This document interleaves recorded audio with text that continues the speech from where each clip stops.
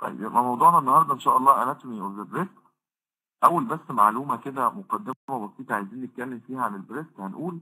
محتاج بس منكم شوية تركيز كده يا دكاترة في الأول. بنسمي ال breast زي ما أنتم شايفين كلمة mammary gland mammary gland يعني الغدد اللبنية. الثدي ممكن نطلق عليه كلمة mammary gland يعني غدة في الآخر. فعشان كده ليه بنقول عليه غدة أو بنطلق عليه كلمة gland لأن هو modified sweat gland يعني غدة عرقية ولكن modified مطورة. وطبعا حجمها أكبر بكتير من الغدة العرقية العادية اللي إحنا عارفينها. بيبقى موجود في ال superficial fascia of the pectoral region in both sexes. يعني ال breast أو ال mammary gland عندنا in and in in بس بيحصل شوية تغيرات آه، آه، آه، تدي اختلاف بين ال two sexes بين ال male وال female. مكانه فين في ال superficial fascia of the pectoral region يعني under the skin على طول. In females it reaches its full development at puberty. بالنسبة لإخواتنا ال females ال breast عندهم بيوصل لل development بتاعه at puberty عند مرحلة البلوغ وبيفضل rudimentary in males وبيفضل ضامر بالنسبة لل males أو للذكور يعني إحنا before puberty حجم ال two breast بيبقى في ال male زي ال female بالظبط. ما بيبقاش فيه development in the breast عند مرحلة البلوغ at the puberty طبعا الهرمونات بتاعة ال females أو الهرمونات الأنثوية هتؤدي إلى إن ال breast يحصل له development ويوصل لل full maturity بتاعته بعد البلوغ in female أما بالنسبة للذكور فهو بيفضل rudimentary زي ما هو وبيفضل صغير ما بيحصلوش أي تطور ولا بيحصل له أي حاجة زيادة حتى بعد البلوغ. شكله بقى إيه؟ اللي هو إحنا هنتكلم بقى بعد كده عن ال breast نفسه ك breast after its development يعني ال breast of the female after puberty بيبقى rounded in shape and rests over the pectoral region زي ما اتفقنا بيبقى spherical أو rounded وموجود over the pectoral region في ال superficial fascia بتاعتها. Externally externally نقدر نقول إن هو hemispherical in shape due to its high fat content.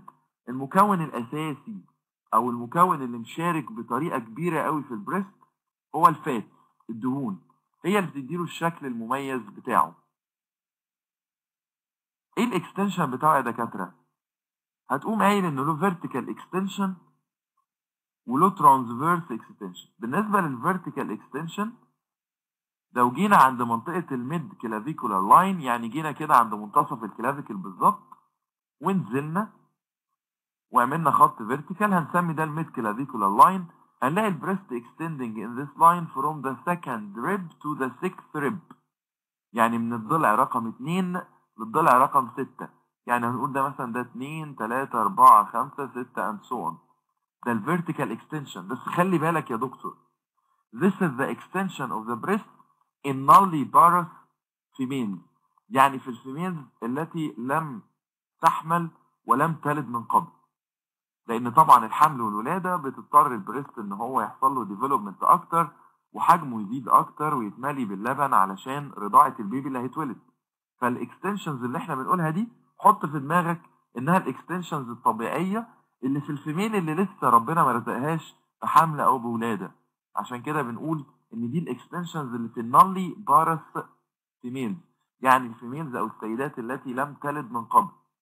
أما horizontally بالعرض فهو بيمتد بين ال lateral border of the sternum to the midaxillary line يعني لو بصينا على الصورة اللي تحت دي هنقول إن ال extension بتاع ال breast إن ال lateral border of the sternum medially كده يقوم ممتد laterally لحد ال midaxillary line يعني ال line اللي بينصف ال axilla بالظبط to two halves anterior half and posterior half يعني ال extension of the breast دلوقتي واضح جدا إنه في ال female التي لم تلد من قبل أو لم تحمل من قبل من الضلع رقم 2 للضلع رقم 6 vertically and transversely من lateral border of the sternum لحد ال mid axillary line. طيب إحنا كده لسه بندردش وبنقول يا هادي في مقدمة بسيطة كل الناس عارفاها. It may has an extension. بيبقى فيه امتداد اسمه ال axillary tail الذيل الإبطي بصوا اللي أنا بشاور عليه في الصورة اللي تحت دي. axillary tail ال axillary tail ده جزء من ال... من ال mammary gland جزء من الغدة الثديية نفسها. بيعمل حاجة غريبة شوية. pierces the deep fascia or the pectoral fascia ما هي ال deep fascia of the pectoral region اسمها pectoral fascia to be present in the axilla. ما أنا أول ما أخرم ال pectoral fascia أو ال deep fascia of the pectoral region يبقى أنا كده عملت piercing لل anterior wall of the axilla وبعدين أبقى resting in the axilla. يبقى كل ال breast is present in the superficial fascia of the pectoral region except its axillary tail لو كان موجود. في بعض ال females ما عندهمش ال axillary tail ده وفي بعض ال females التانية عندهم ال axillary tail ده. لو موجود ال axillary tail ده من اسمه إحنا سميناه axillary tail لأنه extension from the breast lying in the axilla. بيعمل piercing لل pectoral fascia اللي في المنطقة دي ويبقى موجود في ال axilla علشان كده the axillary tail will be the only part of the breast lying deep to the deep fascia lying deep to the deep fascia أو lying in the axilla يبقى المقدمة البسيطة دي external features of the breast اتفقنا شكل ال breast هو rounded أو hemispherical in shape بسبب ال fat content اللي فيه اللي بيديله ال contour بتاعه أو بيديله الشكل المميز بتاعه كمية الدهون اللي موجودة في ال framework بتاعه أو في الهيكل بتاعه أو في التكوين بتاعه. بيمتد vertically من الضلع رقم 2 للضلع رقم 6 بالتحديد لو أنا رفعت المقاسات دي in the mid clavicular line هنا كده. من الضلع الثاني للضلع السادس. أما بالعرض transversely يمتد من ال lateral edge of the من حافة ال sternum إلى ال mid axillary line يعني إلى المنطقة الوسطى من ال axilla بالظبط. كله موجود في ال superficial fascia ما عدا ال extension اللي بيطلع منه اللي اسمه axillary tail. ده بيعمل piercing لل pectoral fascia علشان يبقى موجود في ال axilla عشان كده بيبقى ال axillary tail لو موجود بيبقى هو ال only part of the breast lying deep to the deep fascia. الرسمة دي sagittal section in the breast وجايبين ال structures اللي deep to the breast. فقال لك بص كده إيه ال deep relations of the breast ال breast ده نايم على إيه؟ قال لك نايم على ال pectoral fascia ال deep fascia of the pectoral region هو موجود في ال superficial fascia ونايم على ال fascia اللي تحتها اللي هي ال deep fascia covering the pectoralis major أو pectoral region اللي اسمها pectoral fascia بس خلي بالك في فراغ موجود بين ال breast وبين ال deep fascia دي. الفراغ اللي أنا ماشي عليه بالسهم ده تلاحظوا إن هو ما فيهوش غدد وما فيهوش أي حاجة. ده فراغ space it's called retromammary space it's called إيه؟ retromammary space يعني الفراغ اللي هو خلف ال breast. retromammary space وظيفة ال retromammary space ده إنه بيدي free movement for the breast أو free mobility of the breast بص كده. قال لك إن ال breast is lying on the pectoral region اللي متغطية بال deep fascia اللي اسمها pectoral fascia يعني لو دي ال pectoralis major muscle وتحتها ال pectoralis minor muscle يبقى الخط الأسود اللي أنا ماشي عليه بالسهم ده هو ال deep fascia of the pectoral region يعني هو ال pectoral fascia and this is the breast. It's present in the superficial fascia of the pectoral region. ال superficial fascia موجودة على ال deep fascia فربنا سبحانه وتعالى يخلق space اللي أنا ماشي عليه بالسهم ده يفصل ال breast عن ال deep fascia of the pectoral region اسمه retromammary space ال retromammary space ده contains loose areolar tissue نسيج ضام رخو. نسيج رخو loose علشان يسمح بال free mobility of the breast فوق وتحت ويمين وشمال and so on عشان ال breast ما يبقاش fixed على ال pectoral region وده يسمح له بالتمدد بعد كده لما إن شاء الله ال female دي تلد وتبقى عايزة تعمل lactation لل baby بتاعها. ال breast ده بيتملي باللبن فلازم طبعا حجمه بيزيد وبيبقى يحس إن هو free mobile ما ينفعش يبقى fixed على ال pectoral region يبقى ليه ال breast الطبيعي؟ freely movable علشان في space بينه وبين ال deep fascia of the pectoral region اسمه إيه؟ retromammary space أما بالنسبة للعضلات اللي موجودة deep to this retromammary space أو deep to the pectoral fascia أو العضلات اللي عاملة ال breast bed يعني إيه breast bed يعني عاملة القاعدة أو السرير اللي ال breast بيرتاح عليها. هم ثلاث عضلات pectoralis major طبعا عارفينها. بتكمل بعد كده على ال chest wall ال serratus anterior وتحت في ال abdomen ال external abdominal oblique muscle يبقى هم دول الثلاث عضلات اللي ال breast بيعمل resting عليهم أو بيبقى ساند عليهم أو بيكونوا ما يسمى بال breast bed ال breast bed يعني المساحة أو ال area أو السرير اللي ال breast بيبقى مريح عليه. تمام يا شباب؟ المعلومة هنا المعلومات المهمة اللي هنا معناها إيه؟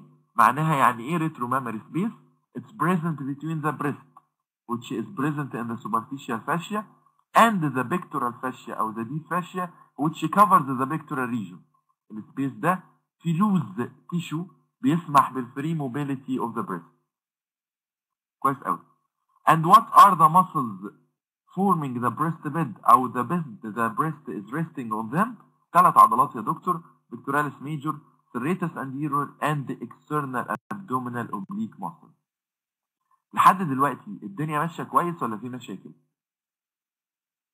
محتاج أسمع من ال... من الشباب اللي حاضرين معايا الأبطال اللي سابوا مذاكرة ال histology وال physiology وحاضرين معايا. الدنيا تمام ولا في مشاكل؟ لحد دلوقتي الدنيا بسيطة أعتقد.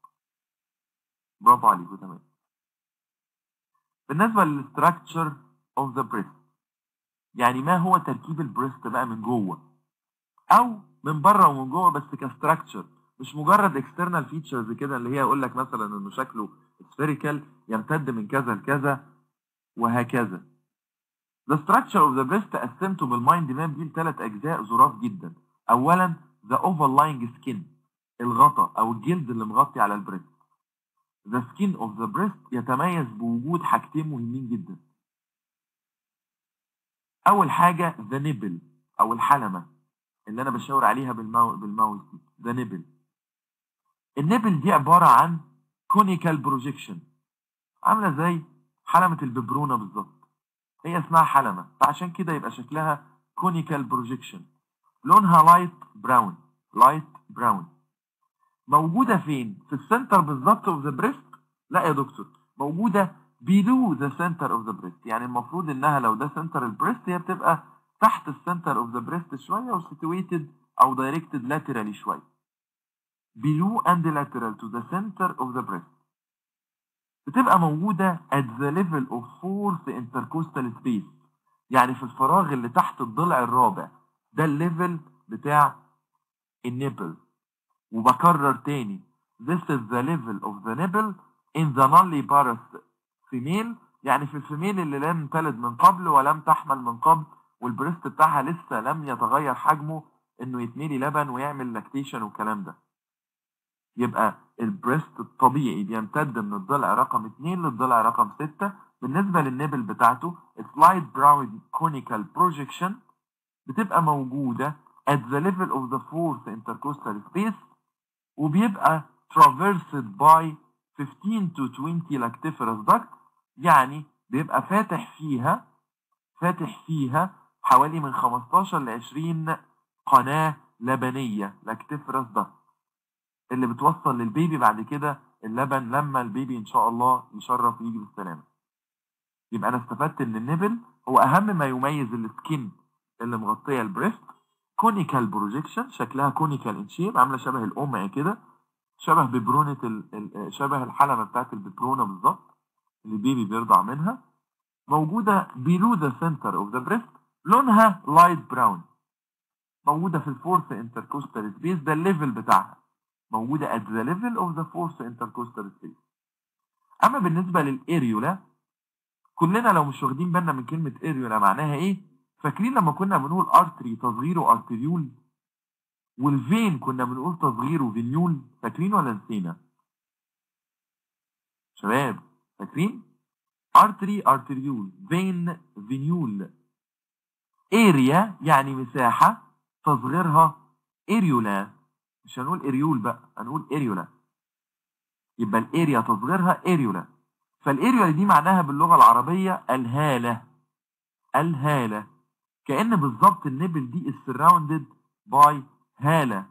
من النور كده اسمها areola فال areola دي تصغير area تصغير مساحة مساحة صغيرة يعني. فقال لك it's area هو بص تعريفها اهو. area of the skin surrounding the nipple اهي. لونها برضو light brown. بس يميزها حاجة ظريفة جدا إنها تحتوي على sebaceous gland غدد دهنية. غدد دهنية sebaceous gland أو غدد شمعية. which enlarges during pregnancy. يبقى هي تحتوي على غدد sebaceous بتفرز مادة زيتية. الغدد دي بتفرز المادة الزيتية دي علشان ربنا سبحانه وتعالى خالقها تفرز الإفراز ده علشان تعمل lubrication لل nipple عشان ال baby لما يشرف بالسلامة لما الأم تبقى حامل وتولده ويبقى عايز يعمل lactation من الحلمة. الإفرازات الزيتية دي تعمل lubrication لل nipple فتبقى lubricated بالنسبة لل baby فال baby ما يحسش إنها ناشفة عليه وفي نفس الوقت الأم ما تنجرحش من الأكشن بتاع ال baby لما يطلع له اسنان ويبقى بيعمل رضاعة وهو عنده اسنان فتبقى lubricated تبقى مزيتة كده علشان ما يحصلش فيها جروح وما تتعورش. الغدد دي اسمها sebaceous gland غدد زيتيه موجودة في ال areola لما بيحصل pregnancy and lactation بيبقى في swelling of the breast عامة وبيبقى ال breast developed أكتر علشان يبقى جواه اللبن بتاع ال baby اللي هيرضعه لما يتولد. فعلشان كده لما بيكبر الغدد دي بتعمل زي بروزات بروزات بروزات اسمها tubercles of Montgomery ال Montgomery ده هو العالم اللي اكتشف ال tubercles دي سماها باسمه. فقال لك إن ال areola دي is light brown area surrounding the nipple of the breast تحتوي على sebaceous glands وظيفتها إنها تفرز sebum secretion مادة زيتية علشان تعمل lubrication of the nipple علشان ال baby يعرف يعمل lactation كويس وما يحسش إن ال nipple ناشفة عليه وفي نفس الوقت بتحمي ال nipple من الخرابيش أو من الجروح اللي ممكن ال baby يسببها للأم لما يجي يعمل lactation من ال nipple دي. فقال لك أثناء الحمل أو أثناء الرضاعة كمان الغدد دي بتبقى مليانة بالإفرازات بتاعتها فبتبقى منتفخة. بتبقى غدد صغننة صغننة بتعمل بروزات بروزات بروزات in the areola. البروزات دي سموها tubercles of Montgomery نسبة إلى الشخص الذي اكتشف وجود ال sebaceous gland في المنطقة دي وقال لك دي بتكبر وحجمها بيزيد وقت الولادة. أو وقت الحمل والرضاعة عامة ده بالنسبة للسكين معلومة بقى مهمة جدا اكتبوها عندكم عشان حتى تفيدوا بيها قرايبكم لما يجوا يسألوكم The color of the nipple and the color of the areola is light brown. يعني بني فاتح وممكن يبقى بينك كمان على حسب لون البشرة بتاعت الفيميل. بعد أول pregnancy يا دكاترة بيتحول اللون إلى ال dark brown. بيتحول لون ال nipple and areola برافو عليك يا حسام. إلى اللون ال dark dark brown مع أول pregnancy and stay dark forever. طبعا الأم بتضحي كتير جدا عشان إنها تبقى أم. وإنها تبقى baby ففي مقابل إن ربنا سبحانه وتعالى يرزقها baby لون ال areola وال nipple بيغمق. زي حسام كده ما قال بيبقى dark brown مش pink ولا light brown وبيفضل لونه dark brown خلاص. بعد أول حمل بيفضل بقى forever dark brown لونه ما بيرجعش يفتح تاني. في حاجة مهمة جدا بعد ما خلصت ال skin of the breast لازم أقول لك إن ال breast has no fibrous capsule. يعني مفيش حافظة ليفية تحيط بيه وده منطقي جدا. ال breast ده حجمه متغير ولا ثابت؟ ردوا عليا يا شباب حجمه متغير ولا ثابت؟ ال breast متغير. يعني مثلا ال female ما هياش حامل ومش بترضع فتلاقي ال breast الغدد اللبنية فيه صغيرة في الحجم وما فيهاش لبن فيبقى حجم ال breast صغير. حصل pregnancy الهرمونات تكبر ال breast وتخلي ال glandular tissue اللي فيه يكبر ويحصل له maturation علشان يبقى مستعد إنه يستقبل ال milk ويرضع ال baby بعد كده. فعلشان كده ال breast بيكبر في الحجم. لو في fibrous capsule around the breast هل ينفع إنه يقعد يكبر ويصغر؟ كان هيبقى ال lactation very painful كان هيبقى إن ال breast يكبر في الحجم ويتعبى باللبن وكل ما ال baby يرضع يخلص اللبن ويتكون لبن جديد غيره كان هيبقى very painful procedure فربنا سبحانه وتعالى خلى ال breast without fibrous capsule ودي ليها clinical importance مهمة جدا إن لا قدر الله لو في infection أو cancer in one breast it can spread to the other breast and to the surrounding tissue بسبب إن ال breast ده غدة ملهاش fibrous capsule. مفتوحه على الشارع كده. Has no fibrous capsule طيب هنتكلم دلوقتي على ال glandular tissue of the breast يعني ال parenchyma of the breast. The glandular tissue of the breast بمنتهى البساطة متقسم من 15 ل 20 lobes وأعتقد إن أنتوا فاكرين لسه في ال slide اللي فاتت إن الحلمة فتح فيها من 15 ل 20 lactiferous duct. يبقى أكيد عندي من 15 ل 20 فص لل breast من 15 ل 20 lobe. كل lobe يتكون من alveoli حويصلات اللي باللون الأخضر اللي أنتوا شايفينها دي. alveoli. تمام؟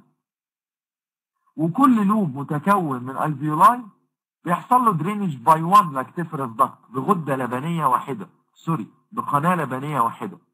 قناة لبنية واحدة. يبقى أنا عندي من 15 ل 20 lobe. كل lobe بيحصل لها draining by 1 lactiferous duct يبقى ال total عندي كام lactiferous duct من 15 ل 20 طب إيه يا دكتور شكل ال lactiferous duct ده؟ قال لك بتبقى ظريفة جدا. كل فص ال alveoli بتاعته أو ال glandular tissue بتاعه بينتهي ب duct واحدة بس زي ما إحنا شايفين كده على الرسمة.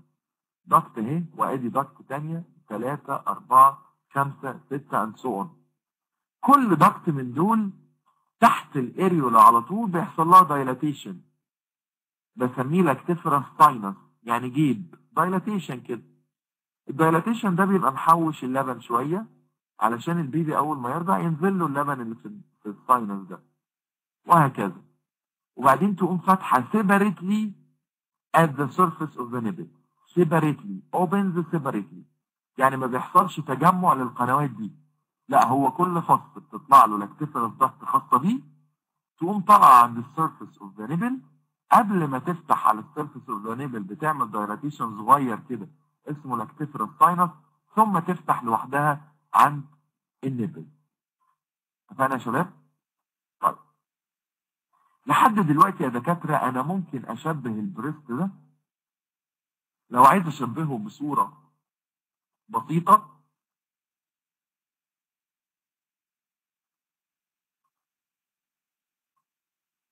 مش في الجهاز يعني. أنا لقيت فجأة صوتي وقف ما, ما فكان لازم آخد بقى مية معلش. ما ينفعش ماشي يا شباب؟ في حد فيكم بيجيب في سيرتي تقريبا كده. ما علينا. آه، اللي بيجيب في سيرتي يخف شوية ده كده اللي بيجيب في سيرتي يخف شوية. ماشي يا بهاء شكلك أنت وحسام بتجيبه في سيرتي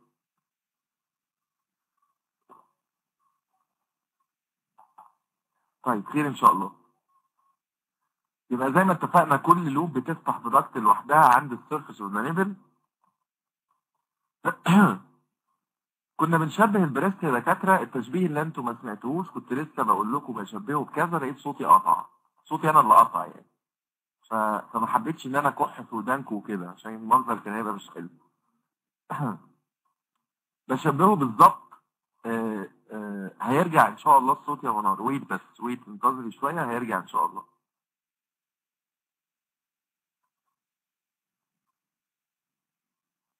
ها كلنا سامعين الصوت؟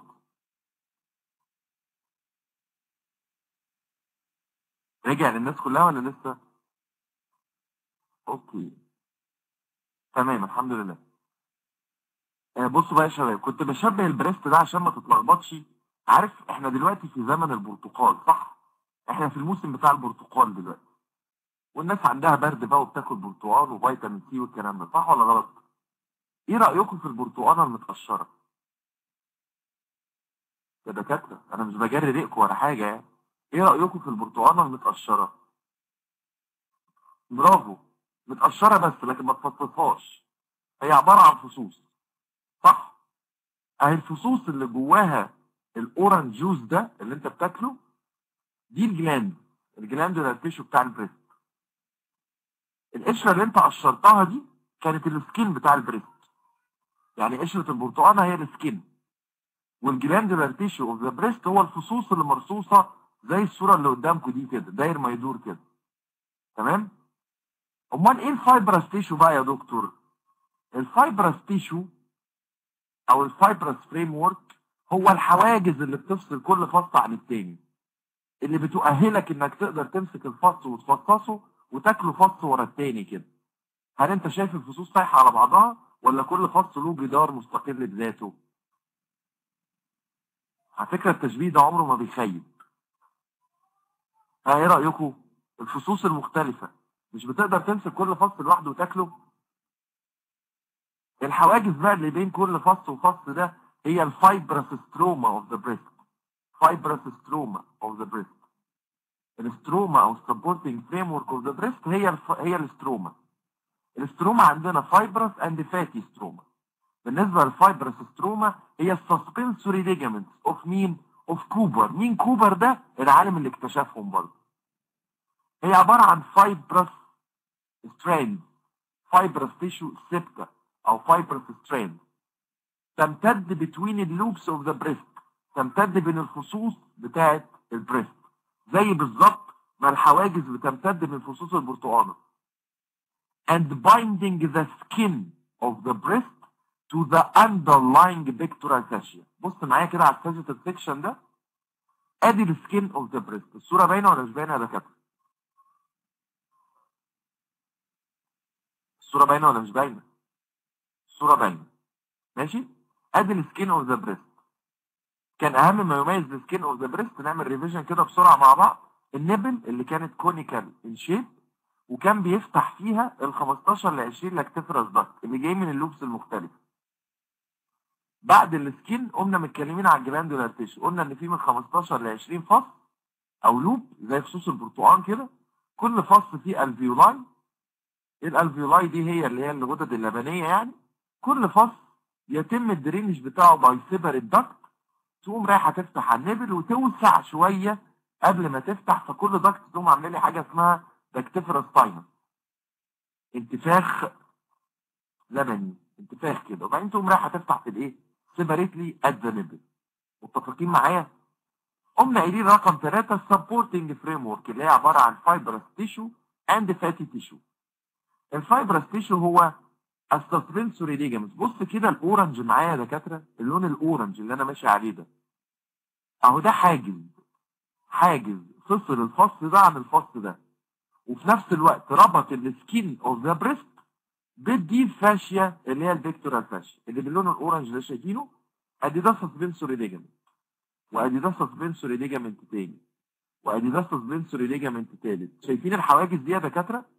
اهي الحواجز ال orange دي التي تمتد بين الفصوص وبعضها زي بالظبط الحواجز اللي بتمتد من فصوص البرتقانة وبعضها. بتقوم عاملة connection بين ال skin of the breast and the deep fascia اللي هي ال pectoral fascia يبقى ده ال fibrous part of the breast يبقى ال glandular part of the breast هو مين؟ هو ال 15 ل 20 فص اللي كل فص بيطلع له lactiferous duct لوحدها تروح تفتح في ال nipple أما ال fibrous framework of the breast هي مين؟ هي ال suspensory of Cooper العالم اللي اكتشفها. وال stroma الثانية اسمها fat stroma اللي هي بقى الحاجات البيضة اللي بتبقى في البرتقانة من جوه اللي انت بتقوم مقشرها كده بعد القشر على طول تحت القشر على طول علشان تبدأ تاكل البرتقانة. عارفين النسيج الأبيض اللي جوه البرتقانة ده؟ اللي هي لما انت بتيجي تقشر قشرة البرتقانة superficial كده بتلاقي في حاجة بيضة جوه كده يبقى في cover تاني أبيض موجود جوه أهو ال cover الأبيض ده هو ال fatty stroma بتاعتنا اللي هي بقى إيه؟ مالية الفراغات اللي بين ال fibrous tissue وبين ال lobules وبعضها زي ما أنت شايف اللي هي باللون الأصفر اللي في الرسمة دي. أظن ال structure of the breast مفيش أسهل من كده. تقوم عامل mind map كده وأنت بتذاكر. آه ده في ال skin أهم حاجة في ال skin ال areola وال nipple بعد كده ال glandular tissue أو ال parenchyma اللي هي الفصوص اللي بيحصل لها drainage بال lactiferous duct بعد كده ال stroma يا إما fibrous stroma يا إما fatty stroma. ال fibrous stroma هي ال suspensory ligaments of Cooper اللي هي الحواجز اللي بين الفصوص وبعضها. بتربط ال skin بال deep fascia. وخلي بالك دي هستخدمها بعد كده في ال clinical anatomy. أما ال fatty stroma فده ال main bulk of the breast هي دي اللي بتدي شكل ال breast. هي اللي بتملى الفراغات اللي بين الفصوص وبعضها وبين ال tissues وبعضها of the breast فبتبقى موجودة all over the breast except except nipple and subareolar area. بص معايا كده على الصورة. بص اللون الأصفر متوزع فين؟ متوزع هنا متوزع هنا ومتوزع هنا متوزع هنا. كل المنطقة بتاعت ال breast فيها fatty tissue ما عدا ال nipple حد شايف أصفر هنا يا دكاترة؟ and subareolar area. حد شايف هنا صفار؟ أو fatty tissue رد عليا. مفيش fatty tissue الرسمة دي معبرة جدا. إن الدهون مشيت في ال breast كله all over the breast except the nipple and the sub areolar area. It has no fat content. لكن معظمها هي اللي بتفرز duct بس عشان تفتح على ال nipple على طول.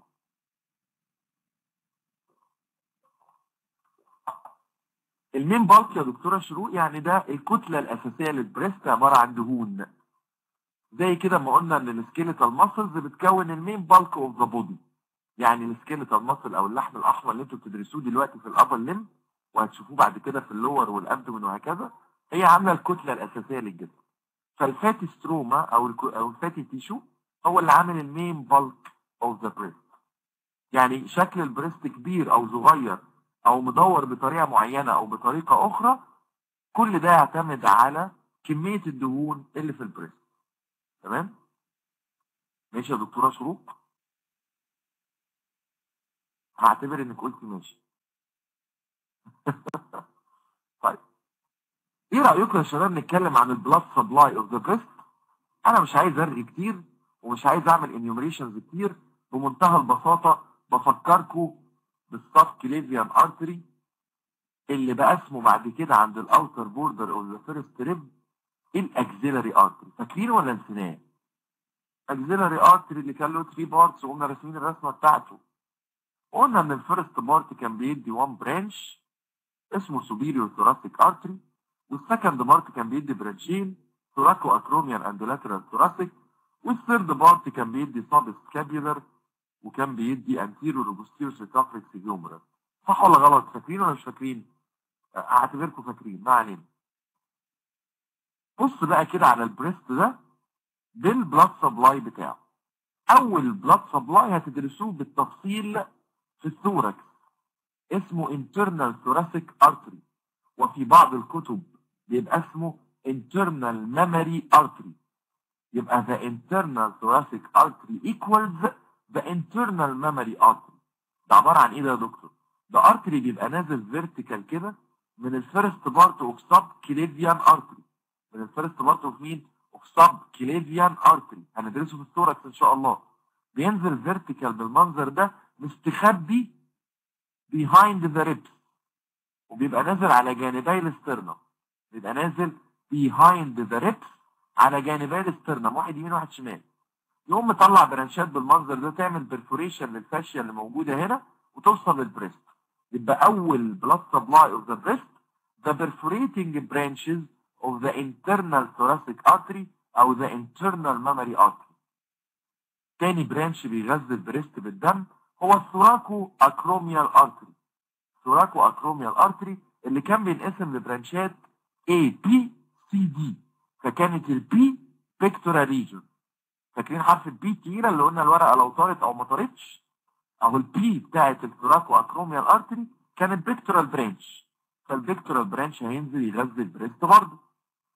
ثالث artery بيغذي ال breast هو ال lateral thoracic artery lateral thoracic artery وده branch من ال second part برضه في axillary artery ومطلع برانشات بالمنظر ده يروح يغذي ال breast. يتبقى لي آخر source of blood supply to the breast اللي هو ال posterior intercostal arteries ال arteries اللي بتمشي بين الضلوع وبعضها هناخدها برضه إن شاء الله في ال thorax لما نيجي ندرس anatomy of the thoracic wall بتطلع branches بالمنظر ده تروح برضه تغذي ال breast laterally يبقى أنا عندي medially the internal mammary أو the internal thoracic artery اللي طالع من ال subclavian artery وبيمشي على جانبي ال sternum وهاخده بالتفصيل إن شاء الله في الصورة. من فوق بيجي لي ال pectoral branch of the thoracoacromial artery and laterally بيجي لي lateral thoracic artery branches وبيجي لي lateral branches of the posterior intercostal artery. سهلة يا دكاترة صح؟ Internal memory أو internal thoracic thoraco acromial lateral thoracic and posterior intercostal. أظن لذيذه بالنسبة للفينوس درينج قال لك بمنتهى البساطة هو أصلا مش مكتوب عندكم في الكتاب. ليه مش مكتوب؟ لأنه ملوش veins خاصة. هو له veins متسمية بنفس أسامي ال artery فقال لك the venous drainage بيبقى through veins corresponding to the arteries يعني المنطقة دي هتعمل drainage في ال internal thoracic vein أو ال internal mammary vein المنطقة دي هتعمل drainage في ال posterior intercostal veins هنا هتعمل drainage في ال lateral thoracic veins وهنا برضه في ال pectoral vein بتاع ال thoracoacromial vein ماشي يا شباب؟ يبقى ال venous drainage هو نفس أسامي ال artery. فملوش لازمة إن إحنا نعمل له category لوحده. بالنسبة لل nerve supply ال breast ده بيحس إزاي وبيجي له نيرفات إزاي؟ قال لك عن طريق ال intercostal nerves اللي هو في ال extension بتاعه. لو هو بيمتد من الضلع الثاني للسادس يبقى هيغذيه intercostal nerves من رقم 2 لرقم 6 بيجي له sensory nerve supply وبيجي له autonomic nerve supply علشان إفراز اللبن بعد كده. عشان إفراز اللبن بعد كده طيب إيه رايكم بقى لحد دلوقتي؟ في أي مشاكل قبل ما اخش على الحتة الأخيرة والحتة اللي إن شاء الله تبقى سهلة جدا بالطريقة اللي أنا هعملها لكم؟ في أي مشاكل لحد دلوقتي؟ لسه ال breast عامل مشكلة وأزمة؟ تمام الدنيا كويسة يعني الحمد لله. آه، دكتورة نورهان آه، آه، انتظري الصوت هيجي لك إن شاء الله أو نعمل rejoin انتظري أو rejoin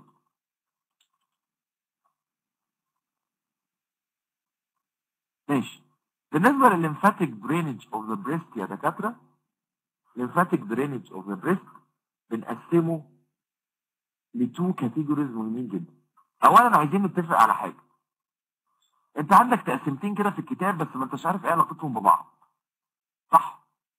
فقال لك أول حاجة خالص كنا ماشيين في أمان الله وقلنا إن ال breast is drained by two groups of lymphatic superficial and deep. جسمك كله يا دكاترة.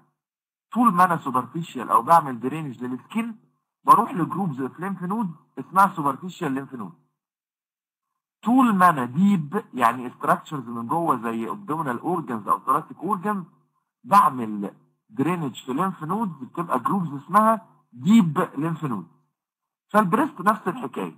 عنده skin وعنده glandular tissue and stroma فال skin بتاعت ال breast بيحصل لها drainage by superficial groups of the lymph node أما الجزء الداخلي اللي هو ال parenchyma والغدد والحاجات بتاعت ال breast اللي هو ال glandular tissue بيتعمل له drainage by deep groups of lymph node ودايما المسار بيبقى عبارة عن superficial group تروح تصب في ال deep group وال deep groups تروح تصب في ال groups ال deep أكتر وأكتر لحد ما نوصل لل final destination بتاعنا. اللي هو ال right lymphatic duct أو ال thoracic duct دي قاعدة ال lymphatic drainage في جسمنا كله. سطح الجسم بتاعنا بيعمل drainage في ال superficial lymph node تقوم ال superficial lymph node دي بعتة ال lymph اللي هيجي لي من ال superficial structures of the body تقوم بعتها لي ال deep lymph node تقوم ال deep lymph node دي متجمعة في الآخر وتدي لي right lymphatic duct و thoracic duct أما بالنسبة لل structures ال deep اللي في جسمي اللي هي عميقة أصلا من الأول فدي بتروح تعمل drainage على طول في ال deep lymph node اللي بتجمع نفسها في الآخر برضه وتروح لل thoracic duct and right lymphatic duct سهلة كده؟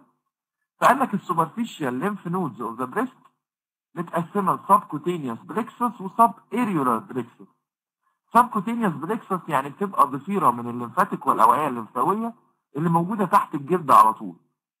اللي موجودة تحت الجلد على طول بتاع ال breast فبتعمل drainage لل skin of the breast وتقوم باعته ال efferents بتاعتها لل axillary lymph node يعني deep lymph node تمام؟ أما بالنسبة لل areola وال skin فدي بيبقى فيه plexus ثانية صغيرة تحتها بتسميها باسمها sub areola. بتعمل برضه درينج للنبل والأريولا وبعدين النبل والأريولا لما تودي الليمف ليها تقوم ال plexus دي بعت ال lymph بتاعها برضه لل deep lymph node اللي هي ال axillary lymph node. يعني أنا المحصل الأساسي بتاعي في الآخر لازم يبقى مين؟ ال axillary lymph node أو ال deep groups of lymph node اللي هنعرف هي إيه دلوقتي. تاني. كل lymph node يا دكتورة شروق بيبقى ليها afferent وليها efferent صح؟ بيبقى في lymph رايح لها و lymph خارج منها. ماشي يا شباب بصوا معايا. القاعدة العامة في جسمنا. القاعدة العامة في جسمنا. بتبقى كالآتي.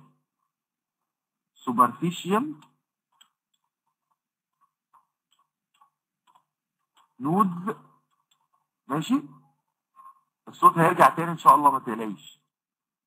وديب نود دي القاعدة العامة بتاعت جسمي.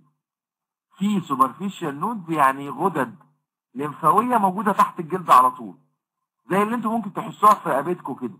الرقبة كده أو تحت ال mandible بتاعتكم superficial groups of lymph node وفي عندي deep groups of lymph nodes بتبقى ماشية مع ال deep veins of my body يعني ماشية مع الأوردة العميقة. deep فالقاعدة العامة بتقول ان ال superficial structure أو ال skin superficial structure أو ال skin يعني. تقوم عاملة إيه؟ ال superficial structures أو ال skin دي. تبعت. sorry. تبعت. لل. لل superficial node يعني ال lymph اللي جاي من الجلد ال lymph اللي جاي من ال skin أو من الجلد أو من ال structures اللي موجودة superficial في جسمي بيقوم رايح لل superficial nodes يبقى ده ال afferent بتاع ال superficial lymph node تقوم ال superficial lymph nodes دي تبعت efferent لل deep lymph node سهلة كده؟ يبقى أنا ال direction بتاعي بيبقى كده. أي superficial structure في جسمي يبعت afferent لل superficial lymph nodes اللي موجودة في جسمي. وتقوم ال superficial lymph nodes دي تبعت efferent لل deep lymph node اللي موجودة في جسمي. ماشي يا شباب؟ بتقوم ال deep lymph nodes دي تبعت ال efferent بتاعها ل more and more deep lymph nodes أكتر. يعني تبعت ل other deep lymph node other deep other deep node علشان أتجمع في الآخر في الآخر وأعمل إيه؟ وأعمل ال lymph trunk بتاعي اللي هو ال right lymph duct على الناحية اليمين وال thoracic duct على الناحية الشمال. فهمناها؟ يبقى أي superficial structure أو skin بيبعت ال efferent بتاعه ل superficial lymph node فيبقى ده ال afferent بتاع ال superficial lymph node تبعت efferent لل deep lymph node ال deep lymph node دي تبعت efferent لل deep lymph nodes وهكذا. لحد ما اوصل لل main lymph trunk بتاعي اللي هو thoracic duct و right lymphatic duct. طب لو كنت أنا deep structure من الأول لو كنت أنا deep structure يعني عضو جوه الجسم أو ال deep structure بتاع ال breast مثلا. فأقوم هودي efferent من الأول خالص قصدي هبعت ال lymph بتاعي من الأول خالص لل deep lymph node ال deep lymph node دي يجي لها afferent منين من ال superficial lymph node ومن ال structures العميقة في الجسم. أهي. وتقوم بعت ال efferent بتاعها. فهمناها كده؟ إيه رأيكم؟ عشان خاطر يقولوا إنكم فهمتوها بس. عشان الموضوع مش مستاهل أصلا. الموضوع سهل قوي. بص يا دكاترة. أي حاجة superficial في جسمي هقولها المرة الأخيرة. هتبعت ال efferent بتاعها لل superficial lymph node. هيبقى ده ال afferent of the superficial lymph node the superficial lymph nodes will send efferent to the deep lymph node. والديب ليمف نودز تبعت للديب للديب للديبر لحد ما نوصل لل main lymph trunks في الآخر اللي هو thoracic duct و right lymphatic duct أما ال deep structures من الأول هتبعت لفين؟ لل deep lymph nodes اللي هتبعت بعد كده ال more deep and deep خلاويص؟ خلاويص ولا مش خلاويص؟ تعالوا نطبق الكلام ده على ال breast تعالوا نطبق الكلام ده على مين؟ على ال breast. مش أنا لما قلت ال structure of the breast قلت في skin وفي parenchyma وفي stroma. ال skin ده superficial ولا deep ال skin يا دكاترة superficial ولا deep superficial صح؟ فيقوم باعت ال lymph بتاعه لل superficial groups of lymph node اللي هي متقسمة اتنين في ال breast. متقسمة إيه؟ اتنين. subcutaneous plexus تاخد ال lymph اللي جاي من الجلد كله ما عدا ال nipple وال areola و subareolar plexus تاخد ال lymph اللي جاي من ال nipple وال areola سهلة كده؟ نرجع تاني ال presentation أهو. السكين بتاع البريست سكين اوف ذا بريست بيبعت الليمف بتاعه للسبكوتينيوس بليكسس أما النبل والاريولا بتبعت ال skin بتاعها لل subareolar plexus اتفقنا؟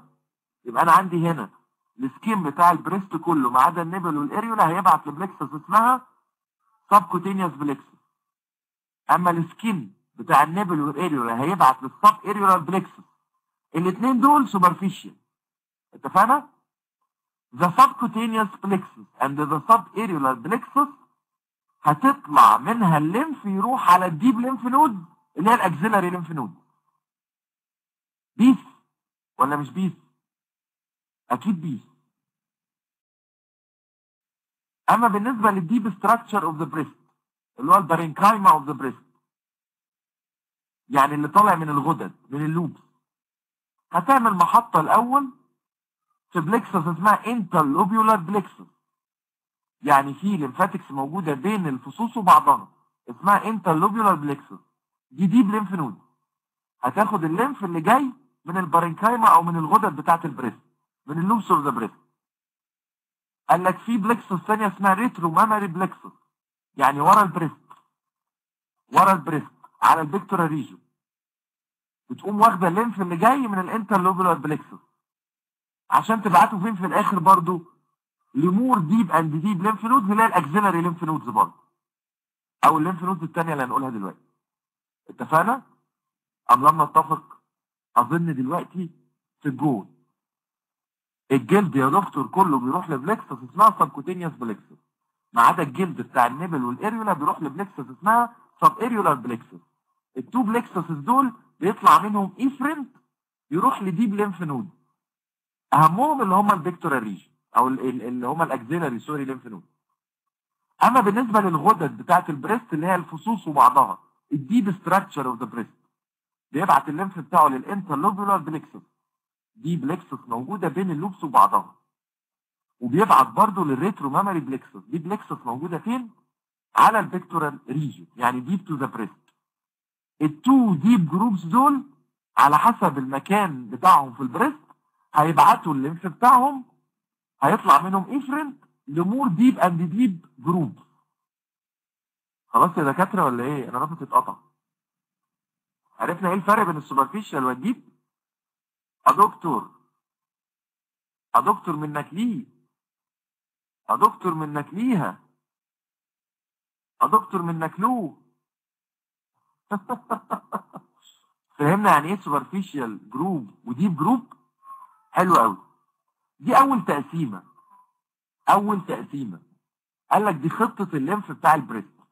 أنا فهمت إيه من التقسيمة دي؟ فهمت يا دكتور إن من الآخر بيبقى فيه deep group of lymph nodes بتستقبل ال lymph اللي جاي من ال breast كله سواء superficial أو deep صح؟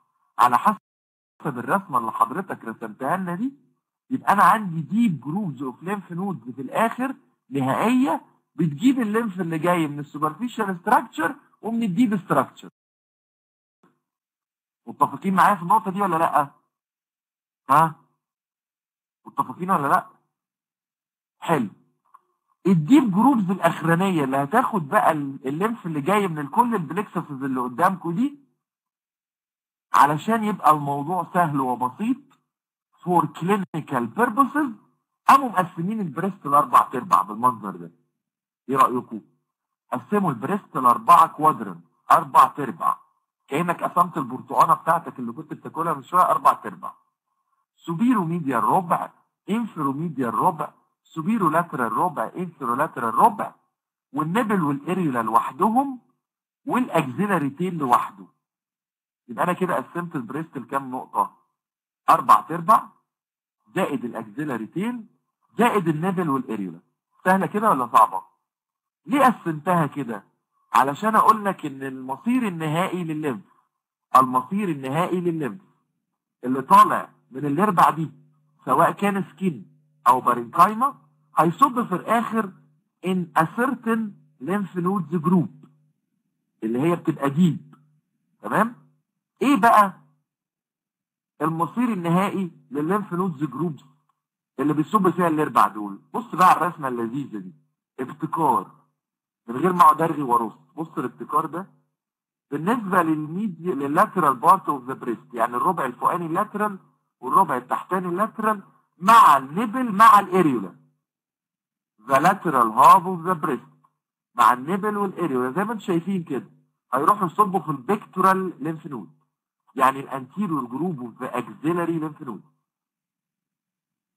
يعني ال skin ال superficial هيصب في ال subcutaneous plexus وال nipple وال areola هيصبوا في ال subareolar plexus يطلع efferent من ال subcutaneous plexus ومن ال subareolar plexus تصب فين؟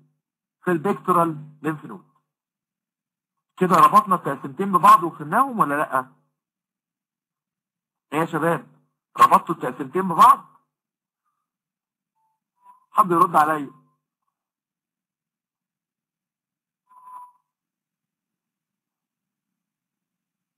إيه يا جماعة أنا أول ما عملت trick وقعنا تاني إحنا مش كنا متفقين إن في superficial plexus وفي deep plexus ولا لأ يا دكاترة مش كنا متفقين إن في superficial plexus و deep plexus ال superficial plexus دي بتعمل drainage لإيه؟ لل skin صح كده؟ وال deep plexus بيعملوا drainage لإيه؟ لل parenchyma. صح ولا غلط؟ يعني إيه parenchyma يعني ال- الغدد. المصير النهائي لل parenchyma بتاعه الربعين دول أو للجلد بتاع الربعين دول وبتاع ال nipple وال areola هيروح يصب في ال pectoral axillary lymph node هنرجع للرسمة دي تاني يا شباب. يا أولاد أنا مش قلت ال superficial هيروح يصب في ال plexus ال superficial وال deep هيروح يصب في ال plexus ال deep وفي الآخر كله هيروح يصب في deep lymph nodes تانية؟ علشان أتجمع في الآخر في ال main lymph trunks اللي هو thoracic على اليمين على الشمال sorry وال right lymphatic duct على اليمين. قلت كده ولا ما قلتش؟ صح ولا إيه؟ اهي الرسمة دي ملخصها ال slide دي إن الجلد بتاع المنطقة دي هيروح لل subcutaneous plexus بتاعت المنطقة دي. دي superficial ولا مش superficial superficial وال nipple وال areola بتاع المنطقة دي هيروح يصب في ال subareolar lymph node اللي هي اللي موجودة برضه superficial وهيروحوا هما الاثنين اللي هما ال subareolar وال subcutaneous يصبوا في ال pectoral lymph node متفقين ولا مش متفقين؟ ده بالنسبة لل skin وال nipple وال areola أما بالنسبة لل parenchyma اللي هي الغدد بتاعت ال breast اللي في المنطقة دي هتروح تصب في ال retromammary آه lymph node وهتروح تصب في ال ال آه، ال group الثاني اللي إحنا قلناه في أهو ال interlobular ومن ال interlobular وال retromammary هروح فين برضو في الآخر؟ لل pectoral group of lymph node سهلة كده ولا صعبة؟ أظن سهلة بقى. أنا ليه بقول التفصيلة دي يا دكاترة؟ عشان أنتوا كلكم بتقوموا سائليني. يا دكتور إزاي في superficial group وفي deep group وفجأة كده يقوم قايل لنا إن الحتة دي رايحة لل pectoral group يبقى إحنا كده فهمنا التقسيمة ولا لأ؟ ال pectoral group دي ده ال final بتاع ال lymph اللي جاي من ال breast. يعني ال final بتاع ال skin وال parenchyma بتاع الحتة دي. طب ال pectoral group بقى هتروح تصب فين؟ فاكرين ال axilla ولا نسيناها؟ هتروح تصب في السنترال صح؟ طب والسنترال هتروح تصب فين؟ في ال apical طب وال apical هتروح تصب فين؟ في ال subclavian lymph trunk فوق خالص صح ولا غلط؟ فهمنا يعني إيه ال lymph بيبقى ماشي من lymph node ل lymph node أكبر لأكبر لأكبر؟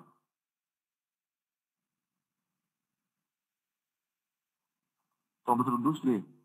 مفيش إلا بهاء وحسام اللي ردوا والباقيين تمام؟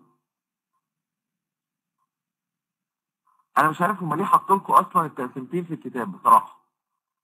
التقسيمتين كانوا ملخبطينكم بس دلوقتي بقت سهلة صح؟ صح ولا إيه؟ ممكن بقى بعد إذنكم ننسى كل ال plexus اللي هي ال superficial وال deep دي ونعرف إن المبدأ بتاعنا إن ال superficial أيوه يا جماعة هي مش ال pectoral group دي آه، في ال axilla؟ موجودة في ال axilla يعني مش مش تحت الجلد مش subcutaneous يعني. خلاص يا شباب؟ حلو.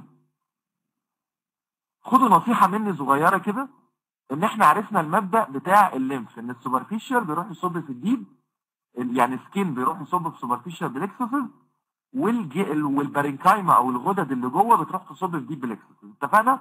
عايزكم تعرفوا المبدأ ده بس. لكن ما تنسوش الرسمة اللي قدامكم دي. الرسمة اللي قدامكم دي أهم من اللي فات ده كله. أنا ما يهمنيش subareolar plexus subcutaneous plexus retromammary plexus ما يهمنيش كل ده. interlobular plexus كل ده ما يهمنيش. عارفين إيه اللي يهمني؟ إن كل ربع من ال breast رايح يصب فين في الآخر وخلاص. هي دي اللي بتيجي في الأسئلة. يبقى ال lateral side of the breast مع ال nipple وال areola هيروحوا يصبوا فين؟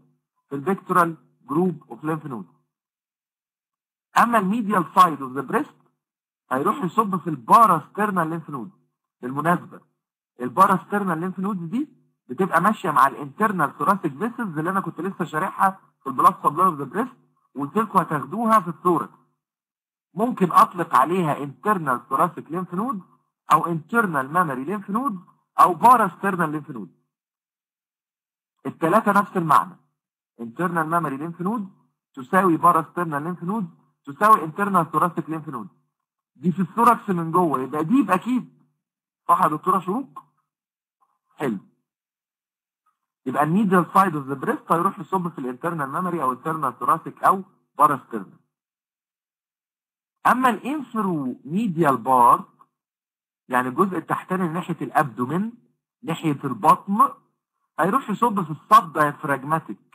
lymph node subdiaphragmatic lymph nodes وفي ال lymph nodes اللي موجودة في ال rectus sheath اللي هو الغلاف اللي مغلف عضلة البطن اللي عاملة زي الشوكولاتة دي اللي متقسمة اللي هي ال rectus abdominis muscle يعني ال lymph nodes اللي نازلة من ال inferomedial side of the breast هتنزل على ال abdomen تحت. هتروح لل lymph nodes اللي موجودة تحت الحجاب الحاجز subdiaphragmatic lymph node. خلي بالك بقى من السهم اللي رايح جاي ده. إيه رأيكم في السهم اللي رايح جاي ده؟ مبتكر صح؟ السهم اللي رايح جاي ده معناه إن ال lymph node اللي جاية من ال medial side of the breast صحيح بتروح لل parasternal أو تنزل تحت على ال subdiaphragmatic بس في شوية lymphatics عاملة connection بين ال two breasts وبعض. ما هو مفيش fibrous capsule بقى براحتي بقى. فال lymph اللي هنا ممكن يروح لل breast التاني واللي هنا يجي لل breast ده وهكذا. ودي ليها clinical importance هنخليها على جنب دلوقتي. طب إيه رايكم بقى؟ إيه رايكم في ال upper half of the breast أو ال upper part of the breast يعني أنا كده قلت ال lateral side جاي كده و medial جاي كده. إيه رايكم في الحتتين اللي فوق دول؟ الحتتين اللي فوق دول هيروحوا لل apical group of the axillary lymph node apical group of the axillary lymph node من وضعهم؟ أنا فوق هروح على ال apical على طول. يعني مش هروح أصب في ال pectoral اللي هتصب في السنترال وبعدين تصب في ال apical لا ده أنا فوق top of the breast هروح على ال apical خط لازم. ماشي؟ آخر حاجة في الرسمة ال axillary tail ال axillary tail ده الوحيد اللي عمل piercing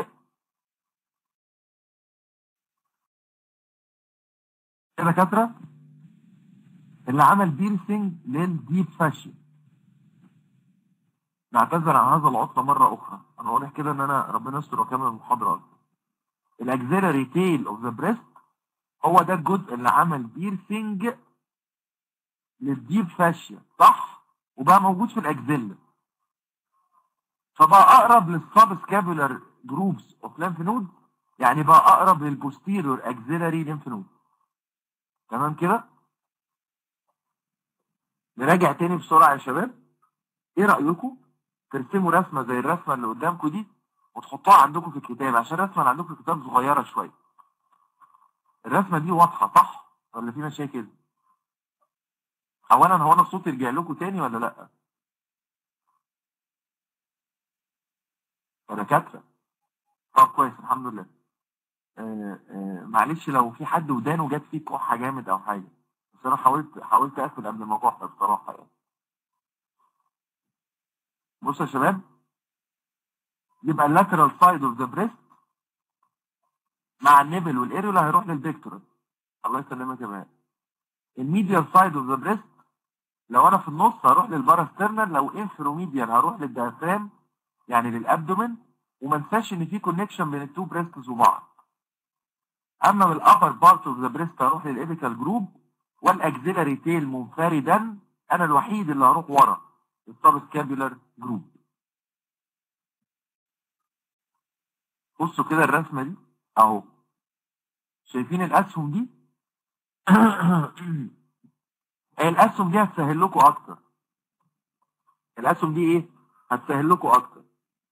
أدي ال lymph بيمشي كده وكده وكده وبعدين يوصل لل pectoral ال pectoral تروح لل central ال central تروح لل apical and so أما من الناحية دي هروح لل internal thoracic أو ال parasternal وهقوم رايح لل breast التاني برضه.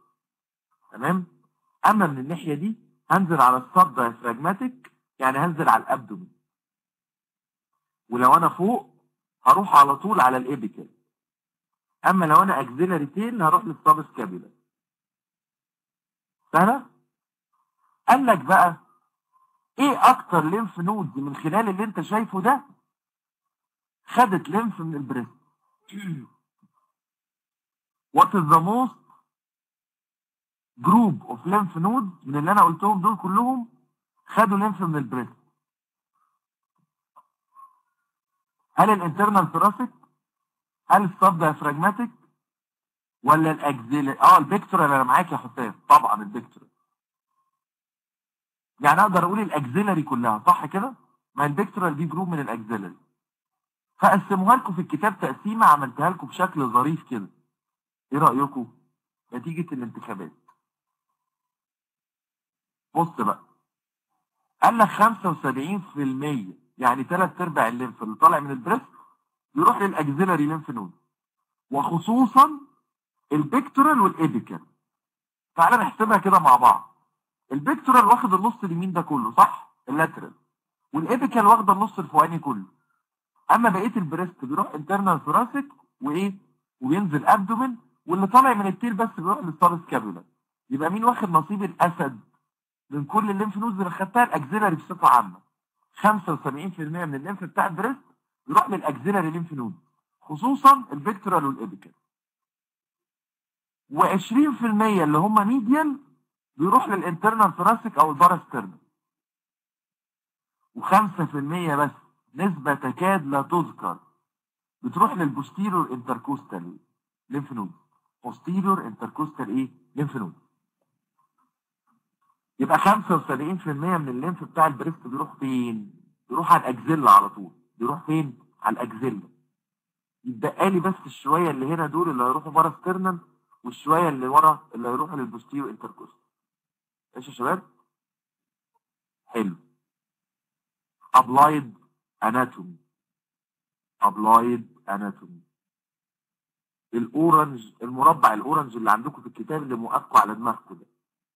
بمنتهى البساطة. افتكر معايا يا دكتور ال breast له كبسول ولا ملوش كبسول؟ يلا yes or no ال breast له fibrous capsule ولا ملوش fibrous capsule؟ ملوش fibrous capsule. حلو. في connection من ال breast اليمين والشمال. by lymphatic connections ولا مفيش؟ في connection بين ال two breasts بال lymphatic connections ولا مفيش؟ في. أنا عايز إجابات. يبقى إيه ما بيجاوبوش ليه؟ ناموا ولا وقعوا مني ولا إيه؟ في connection ماشي. طب عايز تقول لنا إيه تاني يا دكتور؟ ال fibrous tissue of the breast كانت وظيفته إيه؟ يفصل الفصوص بينها وبين بعضها. صح. ويوصل إيه بايه يوصل ال skin بال deep fascia اللي هي ال pectoral fascia. صح ولا غلط؟ صح يا دكتور. أنا هرد على نفسي بقى. أو الثلاث معلومات اللي أنا قلتهم دول هم ال applied anatomy كله. the main lymphatic drainage of the breast بيروح لاني groups of lymph nodes axillary ولا internal mammary ولا diaphragmatic ولا إيه؟ ها ال 75% كانوا رايحين فين؟ كانوا رايحين axillary برافو طب معنى إن ال breast بيودي lymph node في ال axillary و lymph node في ال abdomen و lymphs لل breast التاني مش معناه إن ده ممكن يعمل انتشار للمرض بين كل الأماكن دي؟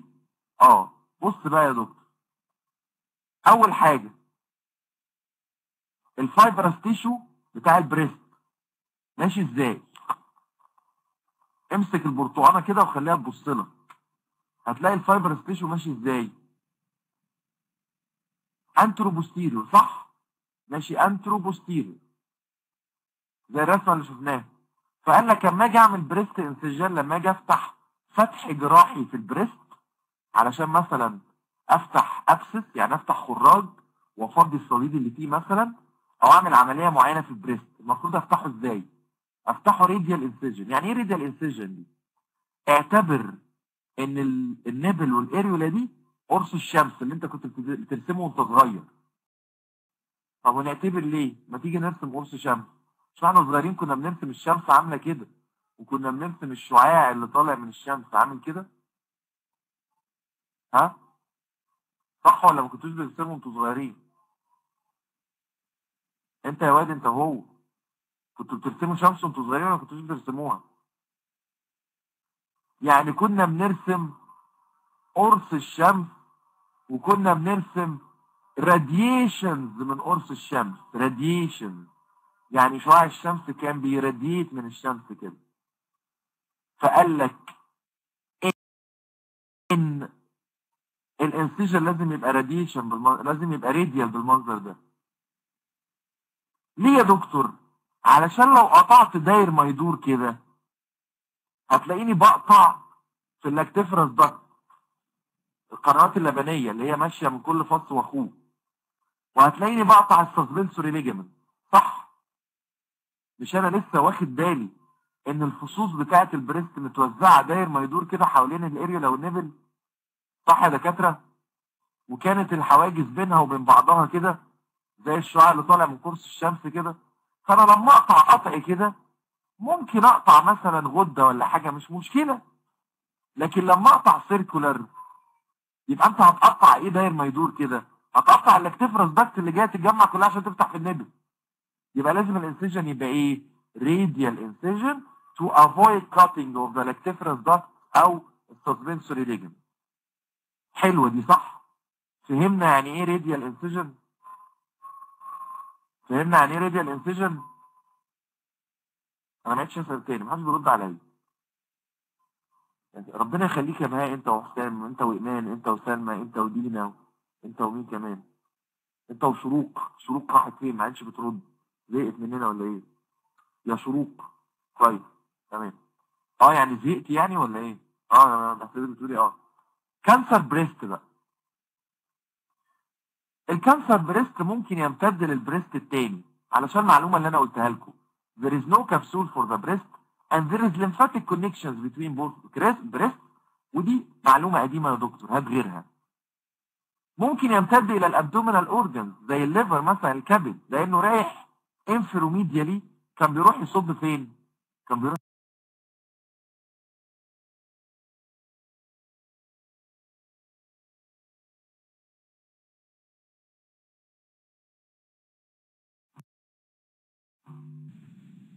خلاص يا ولاد TE Data يا ولاد TE Data TE Data. أنا جيت أنا جيت أنا جيت أنا جيت أنا جيت. ما تقلقوش مش هسيبكم لما المحاضرة تخلص. TE Data أعداء النجاح بيعملوها معايا. اشمعنى أنتوا يعني؟ مش لازم كل مرة كده ولا كل كام محاضرة؟ TE Data تقول لي أنا موجود. آه ما أنا عملت بس زي ما بقول لكم مش أنا اللي بعمل rejoin مين اللي بيعمل لي rejoin الموقع هو اللي بيعمل لي rejoin. أنا ماليش دعوة.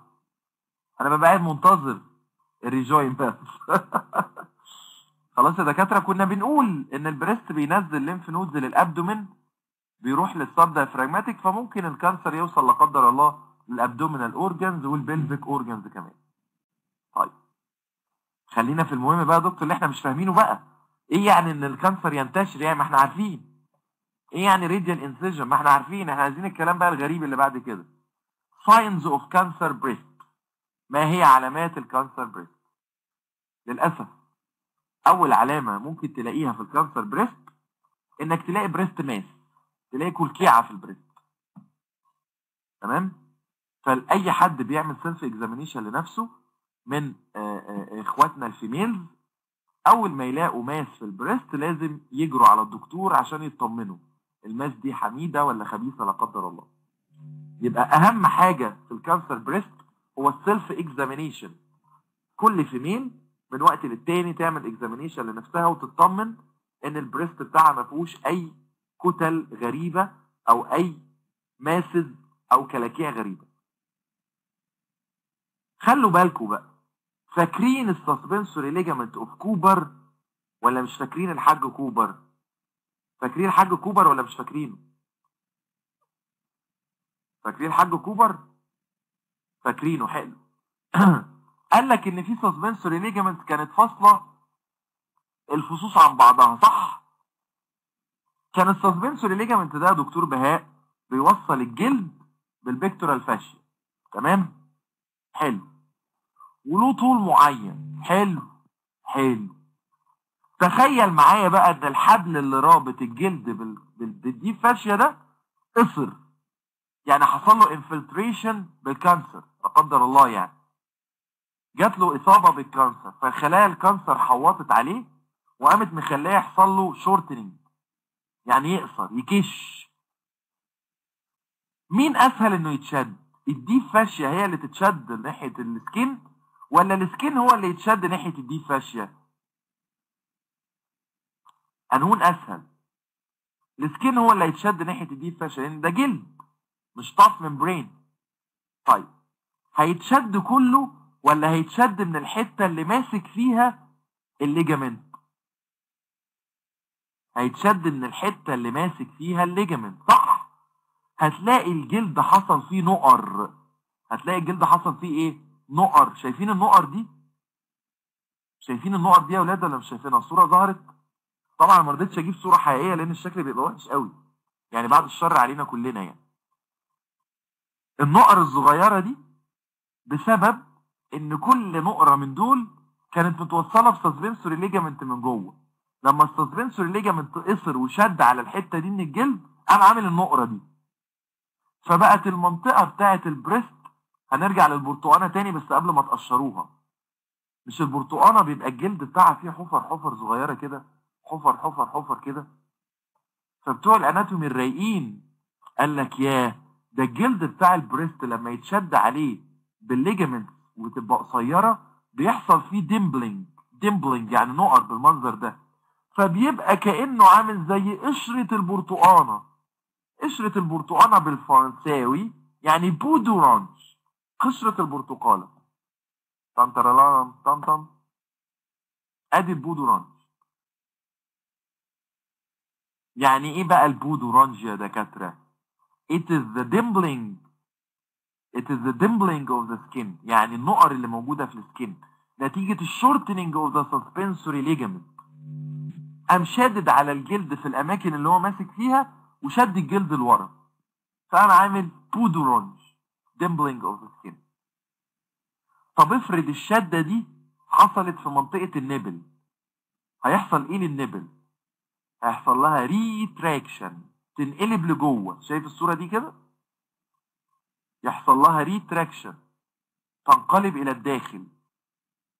فبنسميها nipple retraction بسبب نفس السبب. due to the same cause إن ال fibrous tissue بيقصر وبي shrink وبيشد على ال nipple اللي جوه. بس يحضرني هنا معلومة مهمة جدا برضو عشان تفيدوا قرايبكم وعلشان إخواتنا ال females اللي هيسمعوا المحاضرة دي في أي مكان.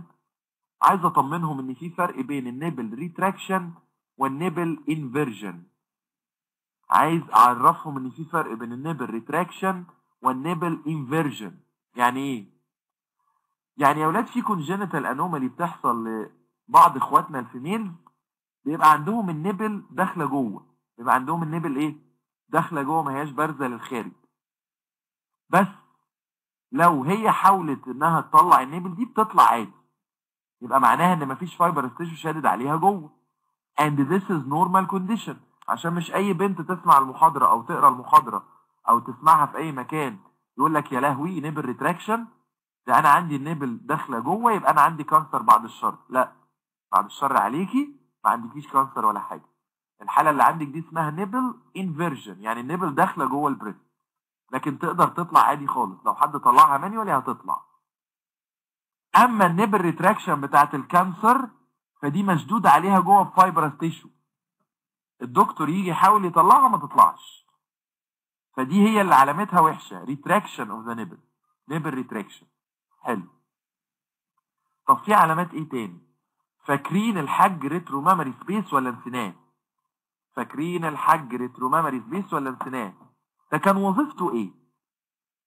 ما هي وظيفة ال retromammary space لقد كانت وظيفته إنه space فيه loose loose areolar tissue يعمل برافو يا دكتورة إيمان ودكتورة شروق ودكتور بهاء هيلحقكم وهو يكتب وراكم يعمل free mobility of the breast طب تخيل معايا إن ال loose tissue اللي موجود في ال retromammary space ده بعد الشر اتملى cancer cells وبقى fibrous tissue ال breast هيلزق على ال pectoral region ولا مش هيلزق على ال pectoral region إيه رأيكم في هيلزق دي؟ هيلزق على ال pectoral region يعني هيحصل له حاجة اسمها breast fixation breast fixation يجي الدكتور وهو بيكشف يحاول يعمل movement of the breast يلاقي ال breast fixed على ال thoracic wall ولا بيروح يمين ولا شمال. يبقى معناها إن حصل infiltration of the retromammary space by cancer بعد الشر على السامعين كلهم. تمام؟ لا أنا مش بنفعل ده أنا مندمج. ده اندماج يا ولاد اندماج. حلو. يعني إيه بقى كلمة mastectomy ويعني إيه radical mastectomy؟ ها؟ إيه الفرق؟ كلمة ماستكتومي معناها إن أنا بعمل ريموفال للبريست بس. كلمة ماستكتومي معناها إن أنا بعمل إيه؟ ريموفال للبريست بس. بستأصل ال breast وخلاص. لو في مثلا حاجة معينة مش خبيثة بستأصل البريست وخلاص. أو partial mastectomy يعني بستأصل جزء من ال breast. بعض الناس اللي بيعملوا عمليات تخسيس فيقولوا علينا حاجة اسمها partial mastectomy أو breast reduction إن أنا أعمل استئصال لجزء من ال breast. لو هعمل استئصال لل breast كله هسميها mastectomy أما كلمة radical radical mastectomy يعني استئصال جذري لل breast. استئصال جذري. والكلمة معبرة جدا. استئصال جذري معناها إيه؟ معناها إن أنا بشيل ال breast بالجذر بتاعه يعني بال retromammary space بال pectoralis major muscle كمان. وبكل ال lymph nodes اللي موجودة في ال axilla لازم أعمل الكلام ده. آه صح كده. بشيله بجذوره بسلطاته بكله. يعني في في في رواية أخرى إن أنا بشيله كله بحذافيره يعني. علشان لا قدر الله لو كان cancer بضطر أعمل ال radical mastectomy ده علشان أخلص المنطقة دي كلها من أي cancer cells ممكن تبقى موجودة ومش بس كده ده بعد العملية أو قبلها كمان بيبقى العيانة ماشية على chemotherapy كيماوي وإشعاع وكده لأن بيبقى طبعا زي ما أنتم عارفين أكيد ال lymph بيبقى وصل لل breast التاني حاجة بيبقى ودى لل abdomen حاجة فمش بيبقى مجرد الاستئصال هو العلاج لا بيبقى كمان في علاج كيماوي واشعاعي بعد الشر علينا كلنا. علشان كده أهم حاجة في ال breast cancer early detection early detection إن أنا أشخصه بدري بدري. عشان كده بمنتهى البساطة كل female وخصوصا لو female معرضة للحاجات دي يعني السن المناسب لل cancer يعني مثلا السن الكبير شوية لو كان عندها حد في قرايبها لا قدر الله جاله نوع ده من ال cancer قبل كده أو لو كان عندها حد في قرايبها جاله أي نوع من أنواع ال cancers التانية من وقت للتاني تعمل لنفسها self examination وتطمن إن ال breast كله soft tissue ما فيهوش أي masses ولا أي كتل غريبة. clinical case كالعادة. هسيبكم دقيقة تقروا ال clinical case دي. دقيقة تقروا ال clinical case دي وهقفل فيها الصوت بعد إذنكم. ماشي يا شباب؟ هتقروا ولا مش هتقروا؟ اقرأ يا دكتور انت وهو ال clinical case دي وارجع لكم تاني إن شاء الله.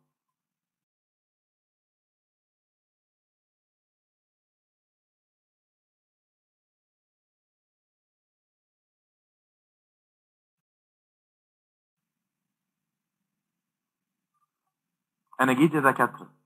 أنا جيت نورت البيت. إيه الأخبار؟ قرينا ال case؟ قريناها؟ نقراها تاني مع بعض. قال لك 40 year old woman. Felt a mass during self examination. مش لسه بقول لك أهم حاجة إن الست من وقت للتاني تعمل self examination قال لك وهي بتختبر نفسها وبتشوف ال breast بتاعها لقت mass لقت كتلة أو كلكيعه في ال breast بتاعها. قامت رايحة للدكتور بتاعها. ال physician detected the mass يعني لقى هو كمان ال mass ولقاها موجودة بالتحديد في ال lower lateral part of the left breast يعني لقاها تحت و lateral. لقاها فين؟ تحت و lateral. قام طالب ماموجرام. كلمة ماموجرام معناها أشعة على ال breast. mammogram معناها تصوير أشعة على ال breast. وخد كمان عينة من ال mass دي. biopsy يعني سحب عينة عشان يحللها. ولما حللها لقاها cancer breast فلما لقاها cancer breast قام قال لك هنعمل mastectomy على طول ملهاش حل. سيرجيكال ريموفال اوف ذا بريست تمام؟ حلو. إيه الأسئلة بتاعتنا؟ Which group of axillary lymph node directly receives the lymph from the mass تتوقعوا مين؟ حسام قال pectoral ماشي مين يزود؟ pectoral مين يزود؟ عبده قال pectoral برافو. ها مين يزود؟ البنات ما لهمش رأي خالص؟ ال mass كانت في ال lateral part of the breast من تحت. افتكر الصورة يا دكتور. ال lateral part of the breast من تحت. كان رايح لأنهي lymph node كان رايح لل pectoral lymph nodes برافو عليكم. برافو. طب لو كان قال في ال upper part of the breast كانت هتبقى مين؟ لو كان قال في ال upper part of the breast كانت هتبقى ال apical طب لو كان قال في ال medial part of the breast كانت هتبقى مين؟ ال parasternal برافو عليكم برافو عليكم. يبقى السؤال هنا which group of axillary lymph nodes receives the lymph from the mass? والله يا دكتور ال mass موجودة في اللي هو ال lateral part of the breast يبقى هتروح لل لل left pectoral lymph node left pectoral طالما هو ال left breast يبقى هتروح فين؟ لل left pectoral lymph node name a change that occurs in the skin of the breast in case of cancer breast and explain the cause of this change. ال skin change اللي إحنا اتكلمنا عليه اسمه إيه؟ اسمه إيه؟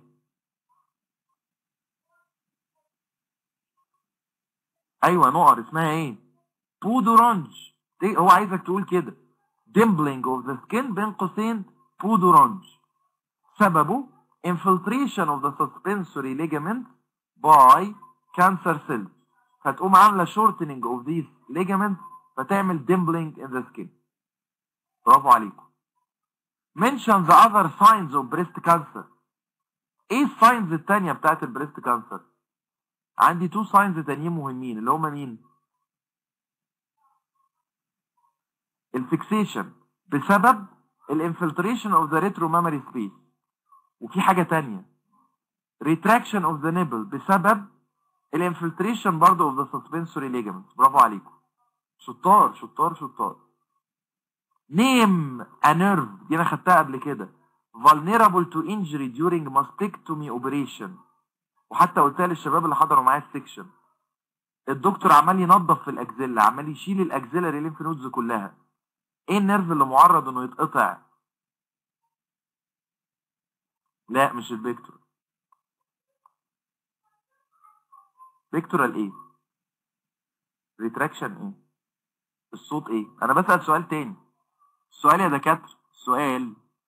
Name a nerve nerve nerve. Vulnerable to injury during mastectomy operation. Long thoracic nerve. برافو عليكم. فاكرين لما قلنا إن ال long thoracic nerve ماشي على ال serratus anterior كده؟ فوانا بنضف ال axillary walls وبكحتها عشان أشيل ال lymph node ممكن اقطع مين؟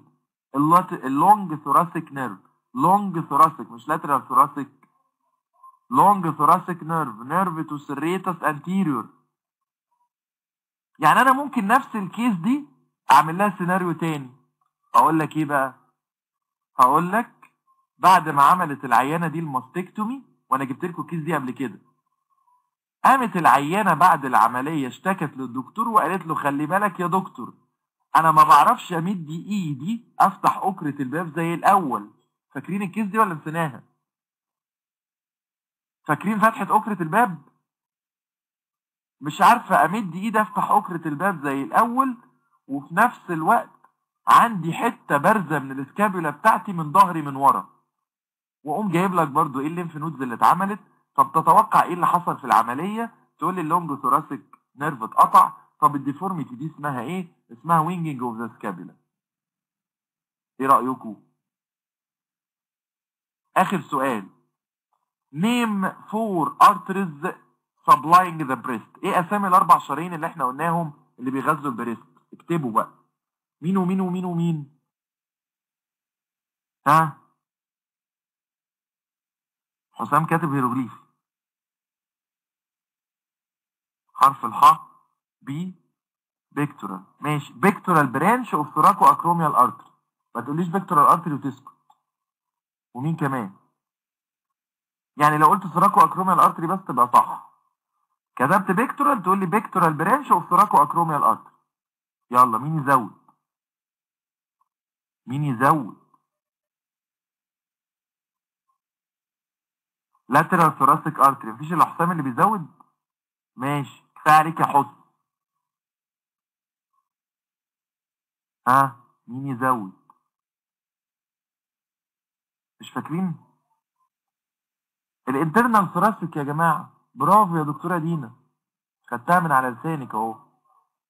طب واللي ورا؟ اللي هما بين الضلوع وبعضها؟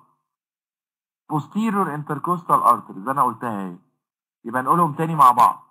internal thoracic artery medially pectoral branch of thoracoacromial artery superiorly posterior intercostal arteries من ورا and lateral thoracic artery laterally. إيه رأيكم ادي ال cases اللي بتيجي في امتحان ال final فيها مشكلة يعني لو مذاكرين كويس هنتعب في إن إحنا نجاوب. أنتوا اللي جاوبتوا case لوحدكم على فكرة أنا ما قلتش حاجة.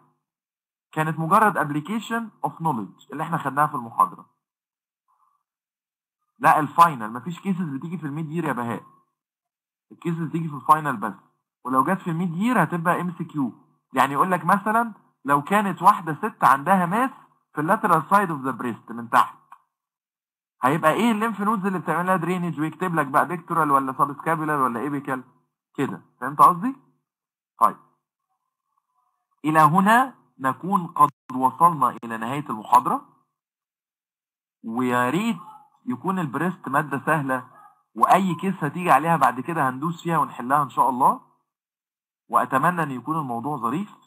يلا هي محاضرة قصيرة مش زي المحاضرات الطويلة التانية. بس آآ آآ ماشي يا حسام تسلم. very much okay مفيش مشكلة خالص. هقفل بس التسجيل كده يا دكاترة.